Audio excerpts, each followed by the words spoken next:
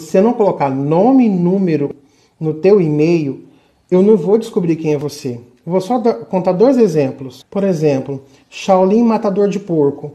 Quem que é esse aluno? Hoje, hoje, hoje tem bailão, é Mandela de verdade. Convoquei todas as piranha no grupo do WhatsApp.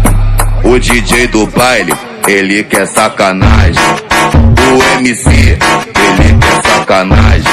O mano do bar, ele quer é sacanagem.